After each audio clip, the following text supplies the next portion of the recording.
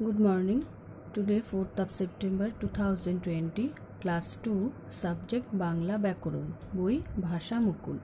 আজকে আমরা করব তোমাদের বাংলা ব্যাকরণ বই থেকে পঞ্চম অধ্যায়, লিঙ্গ। লিঙ্গ কথার অর্থ কী? প্রথমে জানতে হবে লিঙ্গ শব্দের অর্থ কী। লিঙ্গ শব্দের অর্থ হচ্ছে চিহ্ন। এবার লিঙ্গ কাকে বলব? তোমাদের বইতে লিঙ্গের সেরকমভাবে কোনো সংজ্ঞা দেওয়া নাই, দেওয়া নেই। তো আমি এখানে একটি সংজ্ঞা লিখে দিয়েছি, তোমরা এটাই পড়বে। শব্দের যে চিহ্নের দ্বারা পুরুষ স্ত্রী বা স্ত্রী পুরুষ উভয়কে বা কোনো অচেতন বস্তুকে বোঝায়, তাকে লিঙ্গ বলে।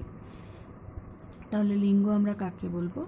শব্দের যে চিহ্নের দ্বারা পুরুষ বা স্ত্রীকে বোঝাবে অথবা স্ত্রী পুরুষ উভয়কে বোঝাবে অথবা কোনো অচেতন বস্তুকে বোঝাবে। অচেতন বস্তু বলতে যে বস্তুগুলোর মধ্যে প্রাণ নেই, যেগুলো জড়ো।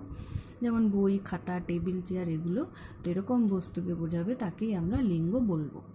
এবার লিঙ্গ কত প্রকার? লিঙ্গ চার প্রকার। কি কি? পুংলিঙ্গ, স্ত্রীলিঙ্গ, উভয়লিঙ্গ, ক্লিবলিঙ্গ। তাহলে লিঙ্গ কত প্রকার?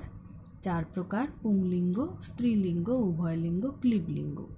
পুংলিঙ্গ বলতে আমরা শুধুমাত্র পুরুষ জাতিকে বুঝব, স্ত্রীলিঙ্গ বলতে স্ত্রী জাতিকে বুঝব, উভয়লিঙ্গ বলতে স্ত্রী পুরুষ উভয়কেই বুঝব, আর ক্লিবলিঙ্গ বলতে অচেতন বস্তু, যেগুলো জড় বস্তু, যেগুলোর মধ্যে প্রাণ নেই, সেগুলিকেই ক্লিবলিঙ্গ বলব। যেমন বই, খাতা, টেবিল, এগুলোকে আমরা বলব ক্লিবলিঙ্গ।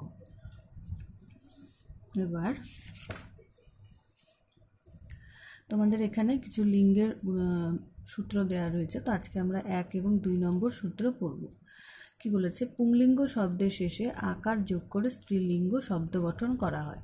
কি বলেছে? যে পুংলিঙ্গ শব্দের শেষে আকার যোগ করে স্ত্রীলিঙ্গ করা হয়। যেমন দেখো, এখানে রয়েছে বৃদ্ধ। তো বৃদ্ধর সাথে যদি আকার যোগ করা হয়, তাহলে কি হয়? বৃদ্ধা। তাহলে বৃদ্ধ ছিল পুংলিঙ্গ, বৃদ্ধা হয়ে গেল স্ত্রীলিঙ্গ। এভাবে এখানে আরও কিছু উদাহরণ রয়েছে। নবীন, নবীনা। চপল চপলা। এখানে সমস্ত পুংলিঙ্গের সাথে কিন্তু আকার যোগ হয়েছে, দেখো। চতুর চতুরা, অজ অজা, মৃত মৃতা। এখানে আরও কিছু উদাহরণ রয়েছে, তো এগুলো তোমাদের পড়তে হবে। এরপরে দুই নম্বর সূত্রে কি বলা হয়েছে? পুংলিঙ্গ শব্দের শেষে ইকা যোগ করে স্ত্রীলিঙ্গ শব্দ গঠন করা হয়েছে। এখানে দেখো পুংলিঙ্গ শব্দের শেষে ইকা যোগ করা হয়েছে। দেখো বালক ছিল, তো এখানে কি হয়ে গেল? স্ত্রীলিঙ্গে বালিকা, অর্থাৎ বালকের সাথে কি যোগ হয়েছে? ইকা, বালক যোগ ইকা সমান সমান বালিকা, সেরকম গায়ক যোগ ইকা গায়িকা। এখানে সমস্ত পুংলিঙ্গের সাথে কিন্তু ইকা যোগ হয়েছে, বালক, বালিকা, গায়ক, গায়িকা, লেখক, লেখিকা, প্রচারক, প্রচারিকা। শিক্ষক, শিক্ষিকা, গবেষক, গবেষিকা, নায়ক, নায়িকা, পাঠক, পাঠিকা। এপাশে আরও কিছু উদাহরণ রয়েছে, তো এগুলো কিন্তু তোমাদের পড়তে হবে। তো আজকে আমরা লিঙ্গ কাকে বলে পড়লাম? লিঙ্গ কথার অর্থ কি? লিঙ্গ কত প্রকার? এবং লিঙ্গের এক এবং দুই নং সূত্র আমরা পড়লাম।